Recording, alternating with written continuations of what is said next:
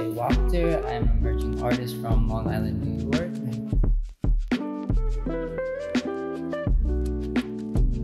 What I do is a little bit of mixed media art sculpture mostly. Um, my art means a lot to me. Um, it talks a lot about um, negative or traumatic experiences, but also has a childlike play to it. I'm loving the residency so far. I have so many opportunities to meet really big names and people, kind of learn how the actual art world is.